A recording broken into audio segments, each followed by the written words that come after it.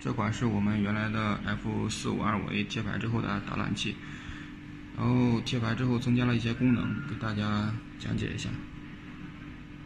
正常情况下，发射器和接收器开机处于一个频道的话，就可以正常的收听。然后接收器的话，信号显示满格，就代表这个发射器和接收器已经相互连通。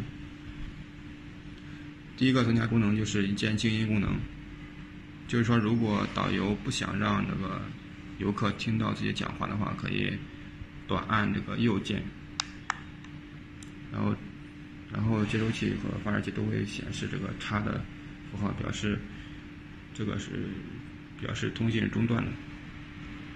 如果想恢复的话，就再次短按右键，就可以恢复通话。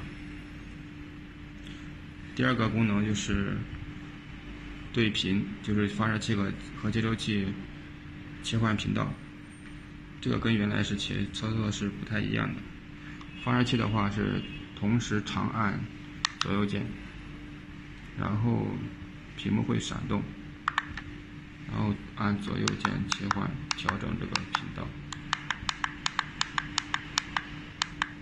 然后短按 M 键确定。接收器的话是在关机状态下，长按加减和电源键，然后松开电源键，然后按加减号调节频道，然后短按这个电源键确定。第三个是。无线的调节频道的方法，这个适用于接收器比较多的情况下。同样是长按左右键，然后我们调整这个发射器的频道，然后我们长按，这次长按这个 M 键，这有个天线符号会一直闪动。然后我们接收器在在这个覆盖范围之内的话，就会自动变成跟那个发射器一样的这个频道。然后再次短按这个发射器 M 键，然后恢复通话。